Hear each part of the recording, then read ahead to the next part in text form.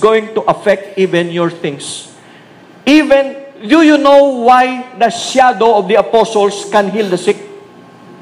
Because of the glory of the Lord in their spirit manifesting through the body. In these last days, as you walk, as we walk in the glory of the Lord,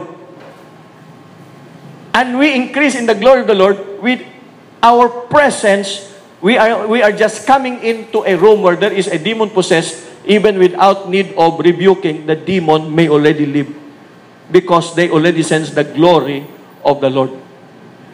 We have not yet gone to a person to be prayed for. She is already healed because of the glory of the Lord. Ah.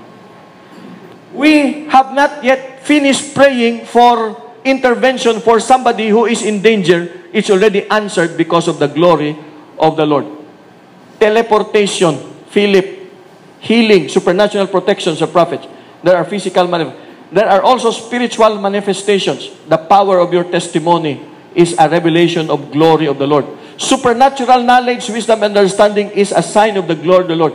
Powerful answers to prayer, experiences with the spirit realm, powerful messages that bring about conviction, attraction of the lost to Christ, signs, wonders, miracles, cooperation, working, conversation with angels.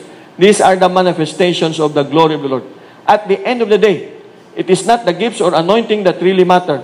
It is the heart that is perfect towards God. It is being conformed to the image of His Son. It is being like Jesus. It is being made perfect in Him. That is the glory of the last days. So there is no magic trick here, no formula how to do ministry, no hidden secret. If you do this, if you do that, then you will be glorious. No. Be like Jesus. Go for sanctification. Go for purity. Go for holiness. Align your heart towards Him. Aim for perfection. Quote unquote. For perfection.